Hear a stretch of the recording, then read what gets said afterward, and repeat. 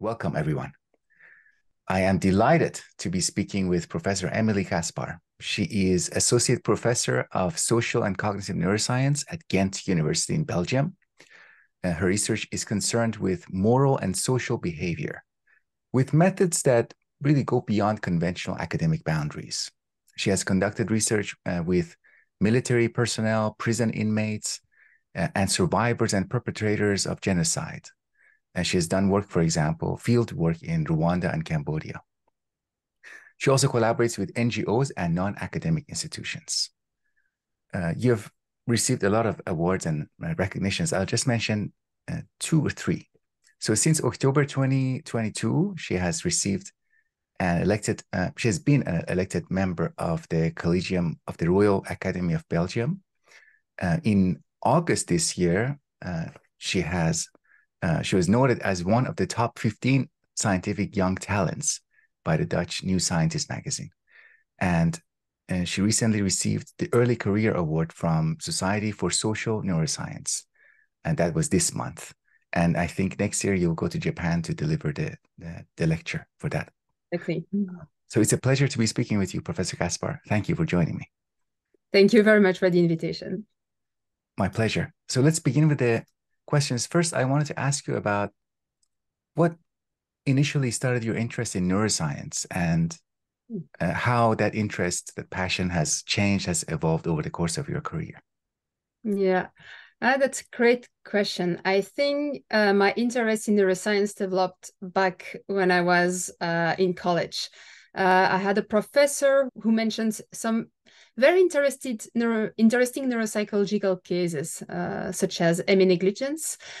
And I became directly interested in the brain. Like, how is that possible?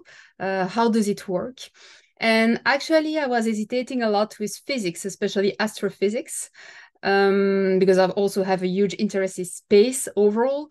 Uh, but yeah, I decided to go for neuroscience, and then I started my study in psychology at the university uh, but I was it was clear for for me that I just wanted to do neuroscientific research and that I wanted to to to to have a career in academia.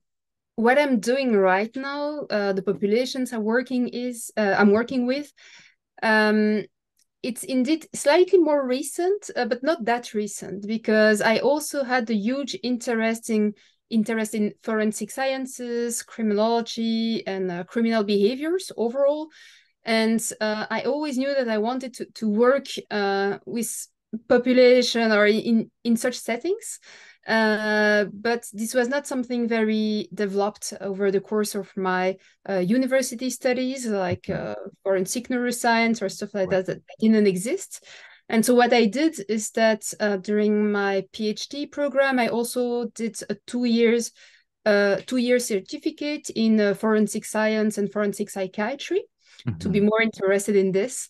And uh, it allowed me to just keep on going with like actually my my actual field of research has emerged from uh, some criminal cases that i followed when i was studying uh, this back in time. Wow. When you say followed you mean followed as um, like a general citizen that you were interested in you were hearing about? I see i see. Wow. Yeah. So anything that is challenging uh, requires extra motivation and i think to say the least your your field of i mean the, your approach to research is, is challenging and unconventional especially doing field work mm-hmm. um, so what i wanted to hear what motivated you to take on this challenge leave the mm-hmm. comfort of doing laboratory even laboratory research is challenging but to do it in a, in in the real real world setting is even more challenging. And I remember like doing an something like an e, ERP study or EEG study. We need people to stay motionless. So that is kind of an indication of how much control we need to have over um, yeah. the situation of research. So again, the, the challenge and then the motivation to to break that convention. Yeah. Um I actually I, I remember the moment where I decided to go for the first time in Rwanda or the first time I initiated the, the, the studies with prisons or the military. But it's true that it was not something I considered at first because, I mean, when you study neuroscience, most of the work you read about or what you learn in school or with your colleagues is classic neuroscience research in the comfort of the lab. And I mean, yeah, there are some studies with patients that are very difficult, but you do not really learn to just go beyond and to reach other populations. And I think this evolved uh, for two reasons. The first one is that I don't like staying just in my office. Mm-hmm. I mean, I work in academia, so of course I'm, I spend most of my time in front of my computer, but I have a deep desire of adventure overall. I, I don't like to stay static somewhere. So I think that helped also in the process. Mm-hmm. And actually, this emerged uh, by um, interactions or meetings I had with actors from the societal world uh, instead of the, the pure academic world. So, for instance, um, a couple of years ago, I was a postdoctoral researcher at the Netherlands Institute for Neuroscience. And um, so I was working on obedience to authority and uh, and topics like that. And I, I, I received a huge media coverage from media from all over the world. And at some point, uh, the director of an NGO, which is uh, uh, Radio La Benevolencija, which is located in Amsterdam, uh, read about uh, one of those interviews uh, with me and read about like my aim, uh, my very uh, humanist values and, uh, and and and what I would like to do in research. And he actually contacted me and offered me an appointment. And actually, his NGO is active in Rwanda, Burundi, but also in Congo. And they try to create interventions to to help people resist call to violence. Mm-hmm. And so he mentioned uh, Rwanda and actually contacted me because they are trying to test their intervention with scientific methods, which is not that common actually from uh, to, to have these requirements from an NGO. So it was very great. And uh, he mentioned Rwanda, the history, and I don't know, I was already working on topics uh, uh related to obedience to authority and genocides are frequently referred to as crimes of obedience because this is possible when a huge part of the population accepts to, to, to take part in this or not to revolt against uh, the government leading the genocide. And yeah, he mentioned Rwanda, and I don't know. I start thinking about it. I was like, yeah, why not doing my research in Rwanda, mm-hmm. uh, in a context where a genocide truly happens? Mm-hmm. And then I have a sort of a black box that um, so I I remember that I said oh Rwanda would be cool, and then I, I I don't remember why in my mind I consider it was a good idea.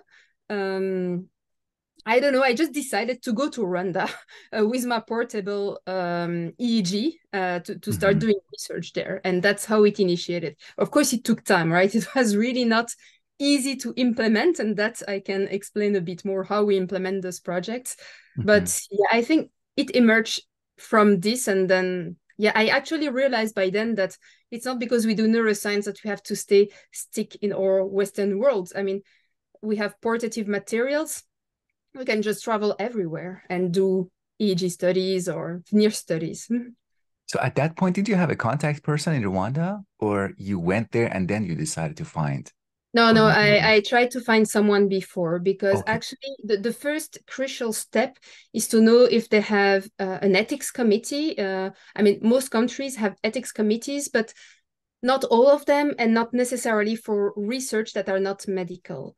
So mm-hmm. Actually the way you initiate a project in those countries is exactly the same as you would do in Europe or in North America. Mm-hmm. You just you first have to ask for an ethics approval. And I actually realized that they had an ethics committee, but it was mandatory for, for me to find a local collaborator, which mm-hmm. also makes sense because I mean they know the country, they they they know their culture, the sensitivity of the country. And so I first spent one year to try to have a contact uh, person in Rwanda mm-hmm. to then being able to initiate the project. Right. Okay. I wanted to add a quick footnote on what you said about being adventurous. I think uh, that also is related to being creative. I remember reading your your work on sense of agency and hierarchies in in relationships, power relationships, and I really felt like this is creative. You were you were at that point. It was I think those were papers published in 2018. I think you they, they were your doctoral work, or based on your doctoral work. Um, and I, it was you were at that point you were within the lab situation, but even there you were injecting your adventurous spirit and creativity into the paradigm, existing paradigms. Mm-hmm. Um, so I just wanted yeah. to take note of that. Um, adventure and creativity, yeah. I think, go hand in hand. Yeah, I think also something helps is that I'm um, slightly, perhaps it's an euphemism, but I'm slightly hyperactive, and I I have a hard time just focusing uh, on something that is repetitive, for instance.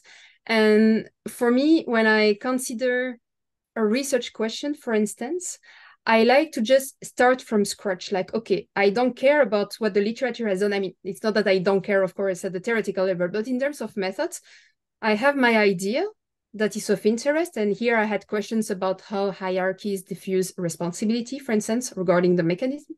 Mm-hmm. And then I say, okay, let's just start from the beginning. I ignore what has been done in terms of methods, and then I try to, to implement my own methods and then I will go in the literature to see if it fits, if it can cali be calibrated based on the, the actual literature. And I just love to create new things and to, to try to go beyond uh, what has been done already. Mm -hmm. Wow. Okay. Okay. Great. Great. We can talk a lot more about that. Um, but for now, I also wanted to ask you about interdisciplinarity.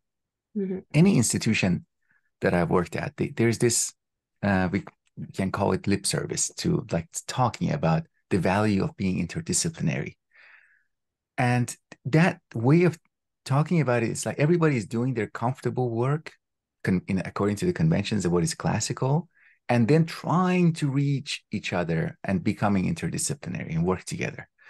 But I feel like the way you approach research, you go, as you said, you find real agents in society. Mm-hmm. And if you do that, you can't escape being interdisciplinary. So I, I wanted to ask you about your impression about what it means to do interdisciplinary uh, research. I think your work brings together sociology, law, psychology, neuroscience. Yeah, exactly. So I, am a neuroscientist, neuroscientist by training, and the brain remains my main interest uh, in terms of research. Mm-hmm. But I also think that I mean, especially in the topics I'm working on, I mean, I, I cannot consider that based on studies, even though it's field studies, I could know I could elaborate on real life genocides, for instance, if I just also don't use another approach. I mean, the lab approach or the field lab approach is of course relevant because you can manipulate variables, you can control the environments to really try to understand the mechanism. But I, I, think this is just not sufficient to stay in a lab to understand human behavior. I mean, you have to talk to other humans, you have to to, to take other perspectives to understand them. And that's also why I started, for instance, to do qualitative work. Uh, I am doing neuroscientific work with uh, my experiments, but I'm also doing qualitative works with uh, interviews with the perpetrators in Rwanda or in Cambodia to try to understand what they have to say. And of course, it has its own limitations as well. So, so does neuroscience. But I think it's only when you, you try to approach interdisciplinarity that you can really have a global understanding of what you're doing. And on the top of it, if you can add societal actors who truly work with them and who have a totally different perspective than the one you can have in academia, then of course it's impossible to fully understand what happened in the mind of people, for instance, who committed atrocities during the genocide because we were not there at that moment. But I, would not feel comfortable in drawing any conclusions on how the brain works if I also didn't have didn't have the insights coming from other disciplines, coming from societal actors, for instance. So most of the time when I try to initiate a project with a specific population, I mean here not university students, which are who are cl quite classic, I just prefer to first talk to the person who are interested in this, like NGOs, for instance. They know perfectly the problematics, they know perfectly, and Yeah, I think it's only when I have their input that I understand, okay, what I'm doing, why am I doing it, that then I can develop research and try to understand the research question. Mm-hmm. I understand what what you mean by that. To um, but let's make it a little bit more clear for our audience because and what you're talking about is really about the meaning of a piece of research finding. If it's really if you're looking at it in a completely isolated way out of context, we in a sense we have too much freedom to interpret it in a way that ser- that serves our theoretical interests. Mm-hmm. But what you're describing is an awareness of what goes on around it. Mm-hmm. But it's easy to ignore that awareness, especially if we are, let's say, in an isolated laboratory situation. Does that mm-hmm. agree with what you said? What you what you meant? Yeah, no, exa- exactly. I think I, I really like that when I'm doing something, I see a broader scope. Uh, it can be theoretical, it can be societal, whatever. But I need to understand why I'm doing this, and I, I like to have like uh, like a very huge number of insights coming from different people, be it in academia or outside, just to understand more globally what we're doing and to adapt to to to have this general interest in the research question. Mm-hmm. So let's turn to some of your uh, some of your actual work and findings. So your lab, uh, your lab, your your research focuses on, I mean, your mobile and portable lab. It focuses on uh, neural basis of moral and immoral behaviors. I was wondering if you could talk to us about some of the, you know, in an overview way, about some of the unexpected findings or expected or significant findings that uh, significant not in a statistical sense, but in, in a societally important sense uh, that you have yeah. found so far. Yeah, so it's pretty large because in the lab we're actually like working on very different topics uh, so I have some people working in prison regarding the impact of uh, prison on the human brain. Uh, I have some people working on uh, intergroup biases. Uh, I have some people working on the mechanism related to obedience or disobedience. So it, it's quite broad. I will just take two examples like this. And I think for the first one, I will go back to my initial studies on obedience to authority because when I started investigating this question, I was at uh, University College London in the lab of Patrick Haggard, who is a worldwide expert on volition and agency. And when we decided to to to evaluate or to, to investigate if uh, obeying orders would alter the sense of agency, for instance, um, I truly believe that it would not influence it as much uh, in the sense that, I mean, of course, uh, we know the theory, we know that uh, agency can be um, uh, can be reduced when uh, your, your your choices are not free or stuff like that. But mm-hmm. when people obey an order, they're always the authors of their own action. I mean, that's them deciding. Yeah, they receive the order, but then they can decide when to press, if they will execute the order or not. There is no TMS over their motor cortex. So I was not sure that actually the sense of agency would be impacted. And um, actually, I was I, I was wrong because uh, we did observe actually that uh, the sense of agency was reduced when people were obeying orders, and actually this result has been replicated many many times by now, so it seems quite uh, robust. And actually that study surprised me for many reasons because when we developed the paradigm so just to, to recap a bit the paradigm is about a one person having two options one option is to inflict real harm uh, a real electric shocks to another person in front of them in exchange of five cents uh, and uh, another uh, option which is uh, not sending the pain but not earning the extra money and actually when uh, we designed the task I was absolutely sure that no one would ever send a painful shock to the person in front of them for five cents. I mean, mm. it's a ridiculously small amount of money. Yeah. And, and in addition, that first study was done in uh, classic university students. So most of them, they heard about Milgram or, I mean, perhaps they do not know the name Milgram, but they just know that there was a study assessing obedience with electric shocks. So I thought that yeah, no one would deliver shocks. And in addition, they are all going to disobey and I will never be able to test my hypothesis. And I was also very wrong because actually people administer quite a lot of shocks uh, to the person in front of them to earn even just one euro, but administering, for instance, 20 real shocks to the other person. And it's very hard to make people disobey in a lab context. I mean, that's probably my biggest challenge ever in this field because, yeah, even if the pain is real and they see it, it's very hard to make them disobey when they come for an experiment. And it's problematic because if you want to study disobedience, but no one disobeys, then you have kind of a, a problem at the experimental level. Right, right. So, yeah, that was yeah some of my main unexpected um, results i have others on other topics but you let me know uh, about sure, the sure yeah yeah that's really great. That's uh, i love that. Um, with regard to the re reduction of the sense of agency did you find that? Um, because i remember it's a while ago but i remember that sense of agency was reduced not just on the actor's side but it was also reduced on the person giving the order.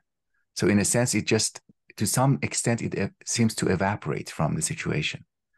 Yeah, indeed. So this is something that you have observed in subsequent studies that we realized afterwards, because I mean, our idea is that yeah, okay, if those obeying orders have a reduction of agency, but potentially leading to a, a reduction of responsibility, of the feeling of responsibility, then who in a hierarchical chain may experience this agency or responsibility over the action outcomes. And so in another set of studies, we indeed started to investigate those giving orders. And we did that uh, about sense of agency, but we also did it in MRI scanners targeting empathy for the victim's pain or the interpersonal feeling of guilt. And what we have observed actually is that it seems that in a hierarchical chain, agency, empathy, feeling of guilt, and I mean here with implicit measurements and neuroimaging uh, methods, it seems that it's vanished for or at least reduced for for the different elements of the of the chain mm-hmm. so it, it it somehow highlights the power of hierarchical situations uh, mm-hmm. to, to manipulate or to change human behavior right right and power in the sense that maybe it it uh, uh, removes some of our weaknesses with respect to some actions like the weakness of having empathy strong empathy mm-hmm. if we call, yeah. if we label that and so that mm-hmm takes me to my next question. I wanted to ask you about that intersection of your interests and your research on these these human capacities, including not just agency but also empathy and responsibility. Uh, how is it that you're approaching all these together, and um, what is the kind of, I mean, research paradigm or is the kind of relationship that you'd like to establish between them? Yeah. So actually, um, my approach is that so um yeah of course I, I studied mostly the sense of agency during my phd but it's not that i'm studying the process itself uh, to then uh, see what can influence it is that i start with a task that is behavioral and i try to target different neurocognitive processes to see how this task can influence this mechanism that then influence behaviors. Mm-hmm. And so, even though I started on agency and the feeling of responsibility, I'm now more and more interested in additional processes like empathy, guilt, theory of mind, cognitive conflict, motivations. So I try to multiply the number of make potential candidates uh, for a mechanistic approach uh, that I have uh, in order to try to understand the the phenomenon, which is for me the behavior itself. I see. I see. So converge on the on the on the phenomenon mm-hmm. by uh, going through different mechanisms. Yeah. Um, now you're you've been covered. Your research and your work has been covered in media, as you said, since a few years ago, starting a few years ago. Uh, has there been any misunderstandings or simplifications of your work, things that you urge people, including myself, because I'm what I'm doing now is a kind of like journalism, but in a smaller scale. Uh, are there mis- simplifications that you like people to avoid, or ha- have happened before already? Yeah, so the media is a good one because um, I mean, I've met plenty of very serious journalists where they ask questions, but they, they want to be sure. For instance, they, they check with me that what they say or what they write is correct. But um, yeah, I also have some bad journalistic experiences where, for instance, they even do not ask me anything. They just read a paper and they try to take what appears to be a very a good title for having more clicks on their media. And the thing is that I'm working with very sensitive populations, very sensitive topics. I mean, when we work about genocide perpetrators, reconciliation in Rwanda, or inmates in prisons, that's very easy for for the media to to create wrong links or to to just title uh, wrongly what I did have observed and how to interpret it. So most of the time, I, I try to control as much as I can. So I do press release versions. I urge everyone to first send me uh, like uh, the text before uh, approving it. It it's not something that I can fully control, of course, because once a paper is like put in an open uh, access, then yeah, anyone can has access to it and spread it uh, the way they want. But yeah, we, we really try to do this. And in my lab, a lot of PhD students and postdocs are also following workshops on communications because some journalists really put pressure on you to, to make you say something that you do not want to say because it's not true. But it's hard to resist the pressure and we are not trained for this. I mean we are academics. Uh, we come from universities. We are not trained to resist the social pressure that some journalists can put on us to make us tell things. And yeah it, it happens from time to time. So with experience now i mean it's easier and easier but yeah the, the the, the media coverage is it's something quite hard actually uh, to, to control over these topics mm-hmm, mm-hmm. that's an excellent point you you brought up uh, we are not trained for to to resist amplifying communication and mm-hmm. exaggerating it and in fact i would say maybe you you might disagree with this but when we were trained when we when we are trained in academia in, to some degree we are trained to do some of that marketing for our research some of that yeah. sales salesman salesperson's um, attitude mm-hmm. of my research is important but it that becomes a vulnerability when it becomes because the media journalism has takes that to a whole di- different level mm-hmm. uh, and the um so to maybe we can pay attention a little bit to especially with research that is media um, appropriate or interesting mm-hmm. to a wider public to do a little bit of non marketing anti marketing or counter marketing yeah exactly. yeah i don't know. Um, yeah no d- definitively um, i mean we also have in academia kind of a pressure in the sense that yeah it's better for our cv for whatever if i mean the world knows what we are doing so for many academics being in the media or having receiving a media coverage is like something exceptional because mm-hmm. it does not so there is it's not easy to to resist the willingness to be in the media and the, the way they want to oversimplify because we also have to of course to be in the media we also have to oversimplify what we do of course we cannot uh, we we have to adapt uh, what we say and it's very difficult to to to adapt it by respecting what we have observed in the results even though we simplify it. And yeah i, I think it's yeah it's as i mentioned it's not a training that we are used to have and we have this implicit pressure to to to be famous. Just yes. I, I yeah. And at the same time we have to be very careful especially depending on the topic or the population. So i mean this is something i had to learn actually like directly from yeah what i didn't expect to have such media coverage when i was doing my phd i mean that was exceptional. It was bbc new york times and stuff like that. And i was like yeah my english was not super developed. And i was like I, it just a first study. I do not master the topic at all. And yeah it's i had to learn.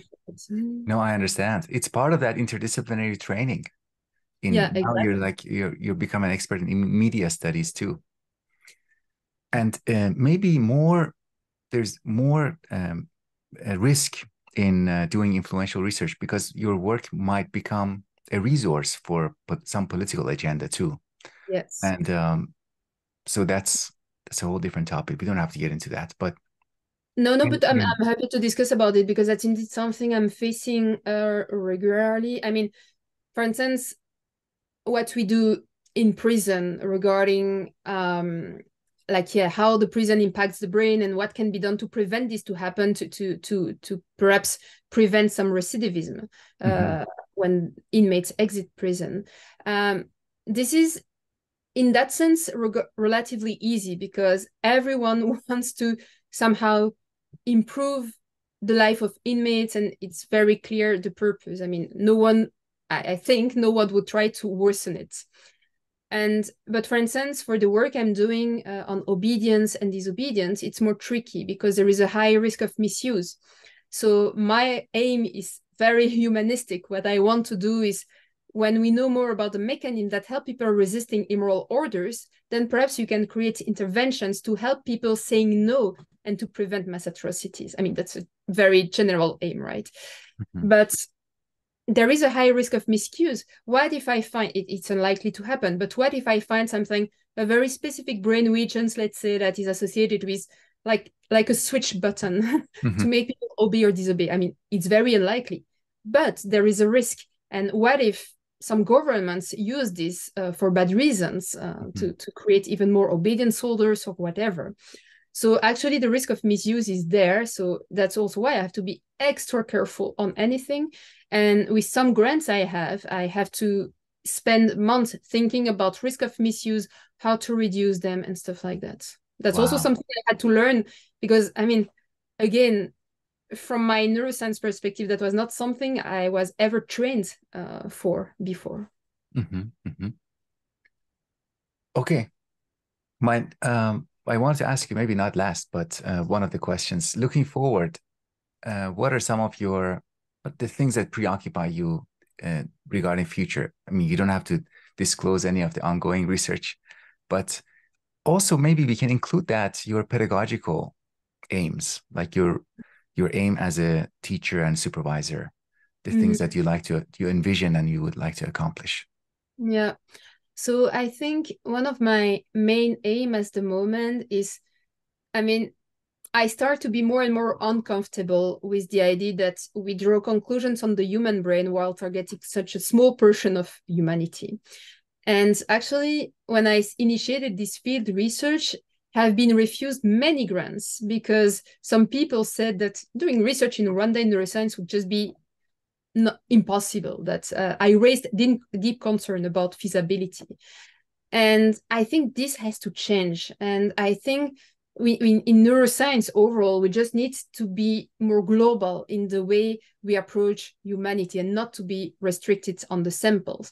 So one of the thing i'm trying to do now so when i'm teaching but also uh, to, to spread it is to really show how all this is possible. That's also why I created a blog, for instance, where I explain all the steps that we do to conduct research in Cambodia, in prisons, or whatever, because I, I want to show that yes, it is feasible, and yes, we can just do it like any other classical studies. So for me, that's one of my general aim. It's not specifically topic related, but it's more like as a general future for neuroscience, I think this is a very crucial step. We mm-hmm. always have talks about increasing diversity in academics uh, in neuroscience, and that I fully agree with. But I think we also have to target diver- diversity in our samples and the populations we recruit. So that is one of my main um, uh, my main focus at the moment. And the other thing is that I realize more and more that yeah, I'm doing fundamental work, of course, but I'm also doing more societal work or work that can, has an impact. And actually, I I think for me it's very important to have the two. And I the way I want to direct a bit more uh, my research in the future is to continue with the fundamental work, but also to be able to have grants that are perhaps at first not fully dedicated to research, but that can use research or what what we do in neuroscience to to have new novel interventions uh, on different topics, for instance. So really use my knowledge to try to have fundings that can have a more direct impact on any problematics in the society. Mm-hmm. Almost like uh, the the path to advocacy through research, uh, yeah. including advocacy for paying attention to culture, because yeah. uh, I remember in my in my own training in uh, cognitive neuroscience, there was no attention to culture because everything was fixed. We were in one setting, and we were pursuing a research, and it seemed as if culture was irrelevant, but mm-hmm. it wasn't. It was just fixed. It was only like there was no variability in it. But as mm-hmm. you as you're uh, arguing, if we include multiplicity of cultures, it, culture itself becomes visible. It becomes one of the factors that are at play, and we can see not only its presence but also its possible effects. Yeah, no, definitely. and I actually it's it's very hard um, now to, to conduct research with these populations because like beyond like the technical difficulties of doing field research and and to, to be confronted to, to these populations um, there is also the problem of the fact that for instance we like if no one else is doing what we're doing as well we feel a bit isolated so if some people can replicate what we're doing or to make predictions like we have to make predictions on effects based on uh, the findings in the, the Western world, while we target a totally different population with a totally different perspectives. And it's even weird at the theoretical level to make such assumptions that, yeah, we make predictions based on one part of the population to extrapolate what would happen in another totally different population. Mm-hmm. So, yeah, I, I really hope that more and more people will engage into it. I remember it was quite funny because one day um, it was uh, for a paper uh, for a study that I had conducted in Rwanda. So first note, finding reviewers is always a mess. We take it takes months for us to find reviewers on what we're doing because we are alone, so it doesn't mm-hmm. help. So everything is slower.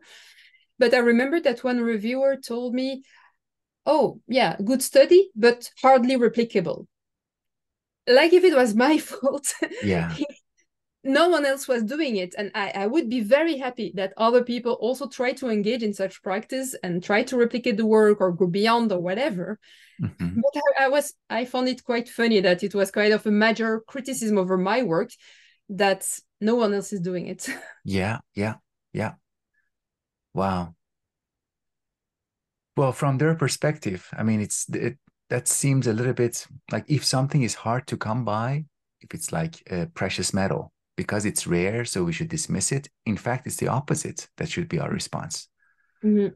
Uh, yeah. I wanted to just, yeah, I wanted to uh, end with a simple, maybe a little bit selfish question, but uh, did you ever consider philosophy as one of the disciplines that you're engaged with? And does it come up uh, for you or for people around you as like something that maybe is an, an annoying perspective, like um, philosophical? So annoying, definitively not. I think it's very important to also have a global understanding. Um, it's true that on my own side, I'm not that much. I do not have much of a feeling of uh, philosophers, uh, just because I prefer field work compared to more theoretical work. But that is mm-hmm. part of my nature. But uh, I'm I'm very happy to talk uh, with philosophers about what they think of all this and how they can even have a, a, more global understanding or even deeper theoretical understanding of what we are doing. Yeah, yeah, yeah, yeah. Philosophy, as you said, is also quite conventionalized, and there's classical like the forms of philosophy that don't want to engage with uh, the realities of society. But I mm-hmm. think there is that pioneering possibility to be pioneers, just as you are in neuroscience, in other fields. So hopefully, uh, your career would be inspiring not only to people in neuroscience, but also in neighboring disciplines. Hopefully, well, yeah, yeah, great. we will see. Well, hopefully, uh, we uh, we will talk again, and I will uh, ask for for updates regarding how things are going. Thank you so mm-hmm. much, uh, Professor Caspar, for your time, for mm-hmm. uh, answering my questions, and looking forward to speaking with you in the future. Yeah, thank you very much for the, the invitation. That was very great. Uh, great. Yeah, thank great. you very much.